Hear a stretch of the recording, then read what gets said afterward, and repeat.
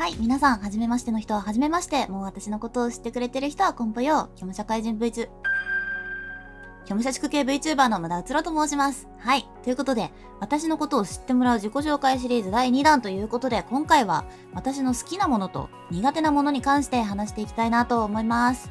まず好きな食べ物と嫌いな食べ物について話していきたいなと思います。好きな食べ物はハンバーグ、お寿司、ラーメンということで、非常にね、キッズすぎるラインナップとなっております。中でもね、お寿司はマグロの赤身とカツオが大好きです。赤身のお魚がね、好きなんだよね。あと、ラーメンはね、家系ラーメンが大好きです。豚骨醤油最高ということで。逆に苦手な食べ物はマヨネーズ。マヨネーズ、まあ食べ物かと言われるとね、調味料じゃねっていう説もあると思うんですが、マヨネーズがとにかく苦手なんで、マヨネーズかかってると基本的に食べれません。あと、葉物系の野菜が苦手です。葉っぱ食べれません。あと、地味にね、スポンジ系の甘いものがあまり得意じゃなくて、あのケーキとか、ちょこっとだったら美味しいんだけど、あんまり量食べれないなっていう感じだったりします。あと、しそと漬物も好きじゃないです。あと、梅干しも。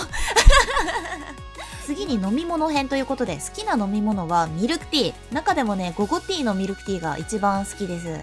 あ、苦手な飲み物は、まあ、あんまり飲み物だとないんだけど、野菜ジュースとジャスミンティーとかかな。次に、好きなゲーム、苦手なゲームの話をしていきたいと思います。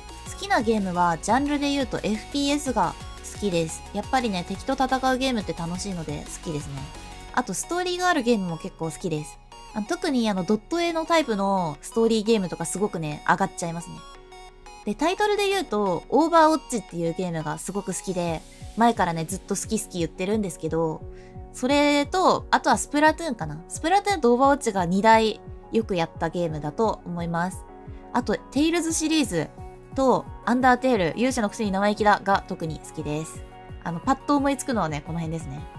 逆に苦手なゲームジャンルは、まあ、ホラーがとにかく苦手なので、基本的にやらないと思っておいてくれて構いません。本当によほどの事態がないとやらないと思います、ホラーは。はい、ということで、今回はね、私の好きなものと苦手なものに関してずらずらと話していったんですけれども、皆様はどうだったでしょうか？なんか改めて考えるとね、あの好きなもの苦手なものってあんまりジャンル思いつかなくて、食べ物、飲み物、ゲームしかやってないんですけど、あの、これは？っていうのあれば、ぜひぜひコメントとかで教えてください。あとあのね、なんかみんなの好きなものとかもぜひぜひ教えてくれたら嬉しいなと思います。